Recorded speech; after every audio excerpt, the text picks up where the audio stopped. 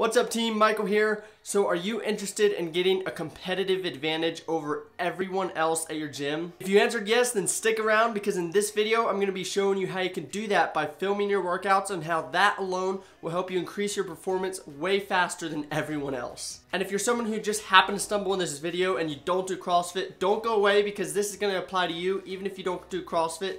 This will apply to any sport or even if you just work out at a commercial gym. So without wasting any more of your time, let's get into this video. Hey, if you're new here, my name is Michael Groff and my channel is all about helping new CrossFitters get fitter, faster, and stronger. So if that interests you, consider joining the team by subscribing and hitting that notification bell. But if you're already a part of the team, Thanks so much for checking out another video. So since starting CrossFit, I've learned a lot of things that have helped me and continue to help me get better every single day. But I would say the biggest thing that I've learned so far is how important it is to film my daily training sessions. And just to clarify, I don't mean filming just PRs. I mean filming everyday training sessions. In fact, there are a few reasons on why you should actually start filming your training sessions. The first reason is it helps give you self-awareness on how you are performing in the gym. There are a ton of bad habits that we have when we're training that we don't even know we're doing and they're easily fixable if only we knew we were doing them. So for example, when you're doing squat cleans or power cleans, it's good to have good head position during the clean. You don't want to be tilting your head way too far back, but you also don't want to be tilting your head and looking straight down at the floor. You want to kind of have a neutral head position where you're looking straight ahead in front of you. But one day after reviewing the footage of a squat clean workout that I did, I noticed that I was looking straight down at the ground. But the funny thing is, I had no idea I was doing that until I saw the video. Now some people might think that that is not that big of a problem and while looking down in a clean isn't a huge problem, if you can fix just one small thing in your form or in your performance every day, just think how much better you'll be in three months, six months, or even a year. The second reason on why you would want to start filming your training sessions is it helps you to see trends happening in your training sessions. So for example, maybe you're seeing that every time you do a WOD that has wall balls in it, you start the WOD off with sets of 15 wall balls at a time, but as the WOD progresses, you start to see that you start doing sets of 8 to 10 reps. Then, using this newfound information, the next time you do a WOD with wall balls in it, try splitting the sets up into 8 to 10 reps. You'll most likely end up pacing the WOD a lot more efficiently and even getting a better score in the WOD if that's your goal. The third reason you want to start filming your workouts is you'll start to see small areas that you're progressing in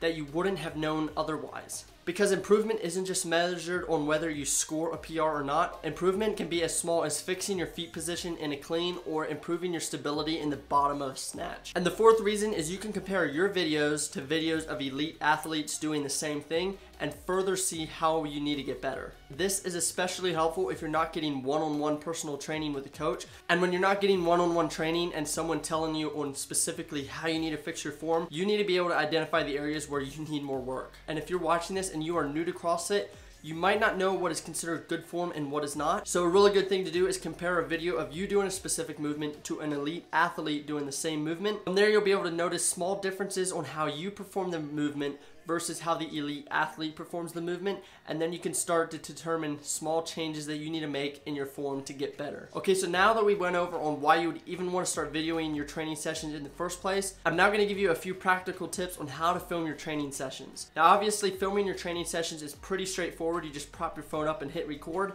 However, here are a few practical tips to keep in mind. The first tip is make sure you're filming yourself from different angles so you can get different perspectives on how you're performing. You can film yourself in the front, from the side, from the back or even a 45 degree angle. And while this isn't that important it can be helpful. For example if you're doing a clean you might want to film yourself in the front for a few reps to see if you're having trouble tilting from one side to the other. But on the other hand if you're just looking for a simple catch-all angle then a 45 degree angle works great. The next tip is to make sure you're filming yourself doing more things than just lifting weights. We briefly touched on this a little bit before but make sure you are filming yourself doing WODs burpees pull-ups, gymnastics, and every other aspect of your training. And when you're filming your training sessions, keep in mind that you're looking for more than just bad form. You want to be keeping tabs on how you're breathing, how often you're taking rest if you're doing a WOD, and you just want to generally be thoughtful on how you're performing. And the third tip is to slowly scrub through your videos or use an app to turn your videos into slow motion. This will help you to really scrutinize your form and show you small areas where you need to critique your technique. Okay, so we went over a few reasons on why you'd want to start filming your training sessions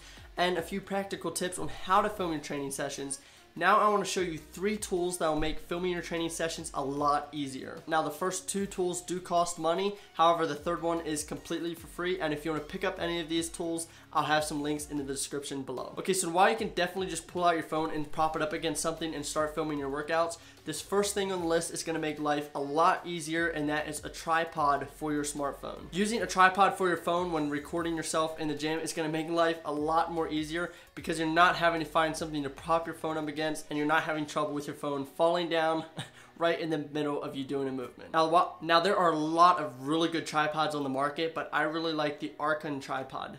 It is only around 20 US dollars and it is extremely durable. It's definitely not like some of the cheap little tripods that you see some people have in their gym bag. A few other reasons on why I really love this tripod is it can hold your phone in portrait mode and landscape mode and each leg on the tripod can bend which means you can bend this thing around racks or any piece of equipment to get a better angle. The next thing on the list is an external hard drive for your computer for a place to store your workout footage. This is really helpful especially if you do not have a lot of extra space on your smartphone me personally, I don't have one of these, but that's just because my smartphone has a lot of space and I haven't needed it up till this point, but otherwise I'll definitely get one. They're only around 60 bucks on Amazon and depending on which version you get, they can hold up to 2 terabytes of storage. Now, another alternative to using a physical external hard drive is using a cloud service like iCloud or Google Drive. The only downside of these services is you have to pay per month once you exceed their base storage limits that are offered for free. But a good thing about using a cloud option is you'll have access to your footage directly from your phone, whereas in a physical external hard drive, you have to go to your computer every single time you want to look at your footage. Final tool is free to use, and maybe you even heard of it already,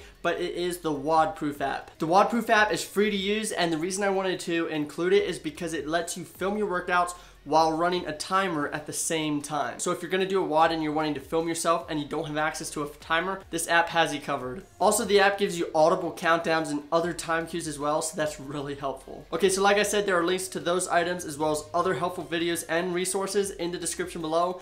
But until next time, train hard team, and I'll see you later.